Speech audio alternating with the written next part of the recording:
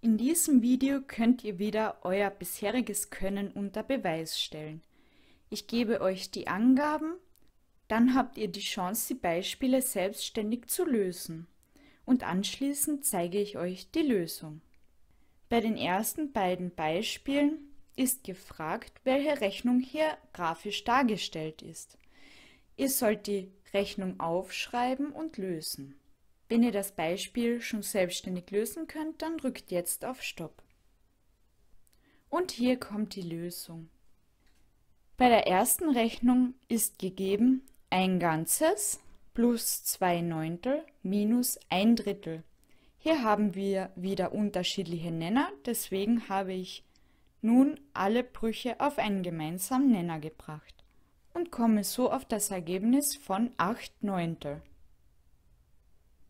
Das nächste Beispiel zeigt uns ein Ganzes und 5 Zwölftel minus 8 Zwölftel. Hier haben wir zwar wieder einen gemeinsamen Nenner, nämlich die 12, allerdings können wir die 8 nicht einfach von den 5 abziehen. Deswegen unterteilen wir wieder unser Ganzes in 12 gleich große Teile.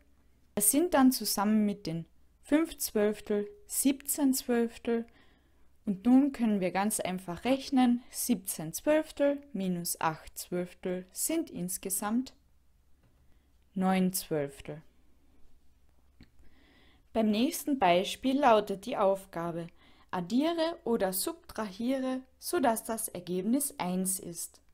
Das bedeutet, ihr müsst hier zu den Brüchen andere Brüche dazu addieren oder subtrahieren, um auf ein Ganzes zu kommen. Falls ihr das Beispiel schon selbstständig lösen könnt, dann drückt jetzt auf Stopp. Und das sind die Lösungen. Beim ersten Beispiel hat man zwei Neuntel dazu rechnen müssen. Dadurch kommt man auf 9 Neuntel und das ist ein Ganzes. Beim nächsten Beispiel haben wir 24 Sechstel und wir wollen ja auf insgesamt 6 Sechstel kommen.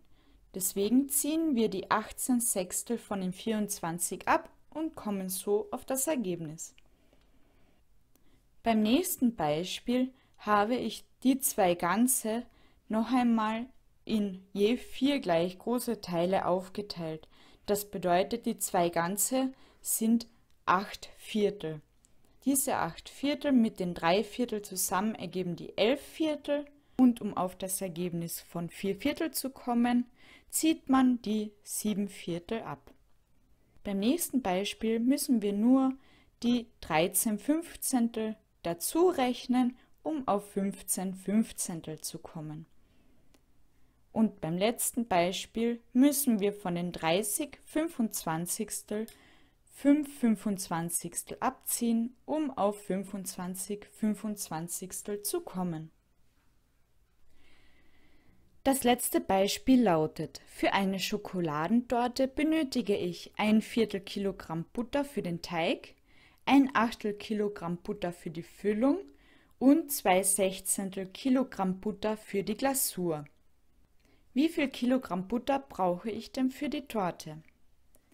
Wenn ihr das Beispiel schon selbstständig lösen könnt, dann drückt jetzt auf Stopp. Und hier kommt die Lösung. Zunächst einmal können wir von dieser Angabe unsere Rechnung aufschreiben. In dem Fall haben wir eine Addition von mehreren Brüchen, die keinen gemeinsamen Nenner haben. Ein gemeinsamer Nenner wäre 16, deswegen habe ich alle Brüche auf Sechzehntel erweitert.